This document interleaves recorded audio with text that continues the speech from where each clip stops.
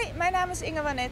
En ik ben Esther van der Krol. En op 4 juni wordt hier in Theater Bellevue onze tekst Een afritsbroek is best heel handig gelezen in het kader van de tekstmederij Leest. Ehm, Esther heeft die tekst geschreven. Esther, waar gaat die over? Nou, de tekst gaat over Maria. Die reist al jaren langs dezelfde campings uh, met dezelfde mensen. En dit jaar besluit ze dat dit niet meer het leven is wat ze wil. En ik ga uh, op 4 juni en één dag daarvoor, dus in totaal twee dagen, met zes acteurs aan de slag om deze lezing voor te bereiden. Uh, dat is heel spannend en we hebben daar heel veel zin in. En natuurlijk hopen we dat jullie komen kijken op 4 juni, zodat we met jullie uh, over de voorstelling in gesprek kunnen gaan. Ja, en daarvoor kun je kaartjes kopen bij Theater Bellevue. Dat klopt. Via de website van het theater kun je kaarten kopen. Hopelijk tot dan. Dag. Dag.